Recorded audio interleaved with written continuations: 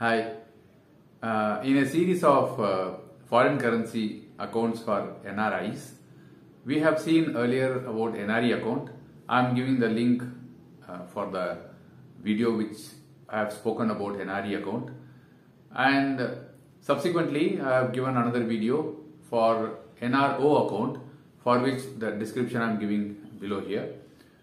Now, on, in continuation to the NRE, NRO accounts, we have something called FCNR account. Um, so that account we'll be seeing in this video. Foreign currency non-resident account. This can be maintained only in the form of a, a fixed deposit. The minimum tenor for this is one year. Um, that can be extended to the period of maximum of say uh, 10 years in the bank. The interest rate will be decided based on the LIBOR, London Interbank Offer Rate. Based on that, the interest will be decided. So this is called FCNRB, Foreign Currency Non-Resident Account Bank. So this is this is the only account which uh, NRI can maintain in India in the same currency with which he is sending. That means this account can be maintained only in foreign currency. This is the only account that can be maintained in foreign currency in the fixed deposit format. So, who can open this account? NRI, PIO, and OCI, non resident Indian, person of Indian origin, and then OCI. It can be opened as a single account or joint account. Joint account can be with any NRE relative or with the resident relative with the condition of former or survivor. Till the person is alive, till NRI is alive, uh, he only can operate, meaning he only can uh, withdraw that money. In case something happens, then uh, the survivor class comes. So, former or survivor basis only, this can be opened. So, who is a relative?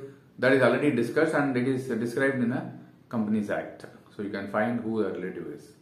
What are the benefits from this account? Uh, this FCNR account is exempted from the tax and it is convenient um, uh, because um, you you are not very sure of settling in India. So you also not known that where, which period you will be coming back to India. This uh, this is maintained in foreign currency and hence it avoids the currency fluctuation risk and also it avoids the conversion loss. So there is no conversion involved. So it's maintained only in that currency. This interest earned on these fixed deposits tax free and there is no wealth tax applicable for this uh, FCNR deposit and this is 100% repatriable. Uh, NRE account and NRO account are rupee denominated. Uh, we have seen NRE account and NRE account can be maintained as savings account, current account, recurring deposit and a fixed deposit.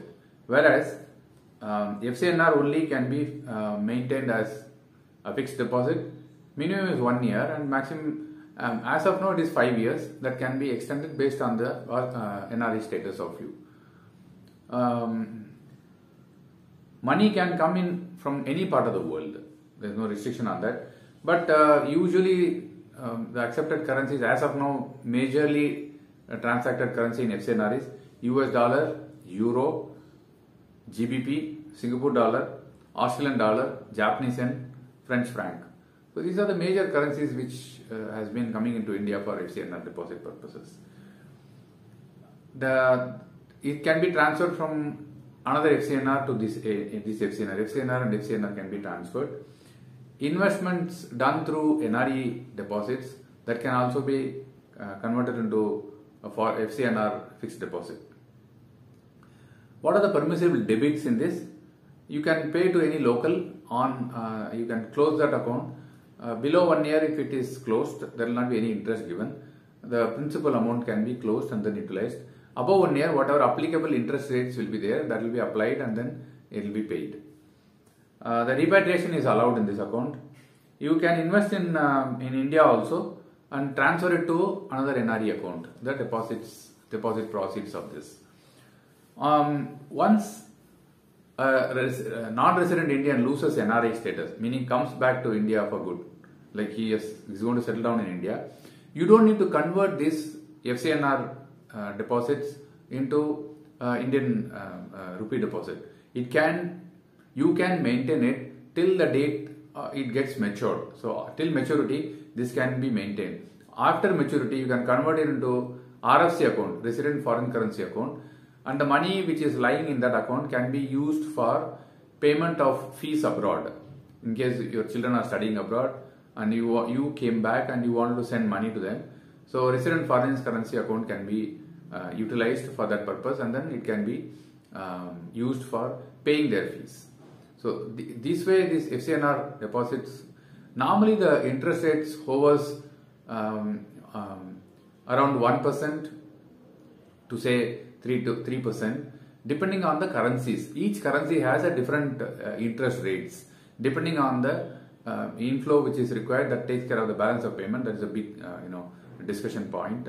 But let us let us restrict only to the FCNR deposits the interest rates which are offered on the um, FCNR deposits depends on the currency with which you are going to hold the FCNR deposit. Like USD will have a different rate, GBP will have a different rate, Euro will have different interest rates. So varying periods will have varying interest rates. So you can decide keeping that according to the currency which you are getting, and then you can repatriate easily. So uh, um, we have covered on three different videos about NRE account, NRO account, FCNR account. In case you like this video, please share, subscribe to my channel and encourage me to post more videos. And please pass it on to the uh, banking students um, or young bankers who will get benefited from these details which are covered in this video. Thank you very much for patiently watching. Bye.